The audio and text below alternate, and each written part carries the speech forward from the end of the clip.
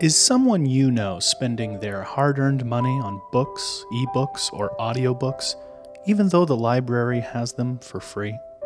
Is someone you love still buying MP3s or DVDs every week, despite the library having those too?